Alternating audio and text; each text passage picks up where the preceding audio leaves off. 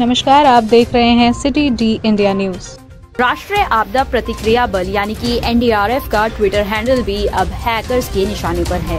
शनिवार रात इसके ट्विटर हैंडल को हैक कर लिया गया। यह जानकारी एनडीआरएफ के डायरेक्टर जनरल अतुल कारवाल ने दी। उन्होंने बताया कि शनिवार रात ट्विटर हैंडल को हैक कर लिया गया था।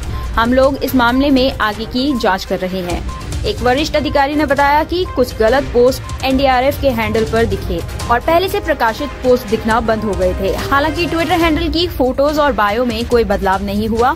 अधिकारियों ने बताया कि तकनीकी टीम इस पर काम कर रही है। जल्द ही ट्विटर हैंडल को फिर से बहाल कर दिया जाएगा।